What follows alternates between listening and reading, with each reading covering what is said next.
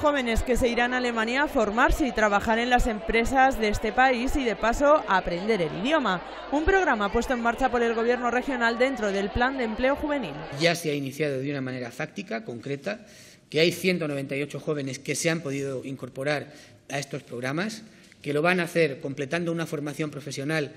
haciendo prácticas en empresas, recibiendo una educación en el lenguaje, en la lengua del país que les acoge, en este caso en Alemania, y que sin ninguna duda es la puesta en valor y la puesta en práctica de cómo se puede recibir esa formación profesional a la vez que se recibe la formación propia de la misma. Y en este caso, además, hacerlo en un país de nuestro entorno, en un país cuya economía es importantísima dentro de Europa y dentro del mundo, y hacerlo, como digo, de la mejor manera, con las mejores garantías, con el apoyo del Gobierno de Castilla-La Mancha.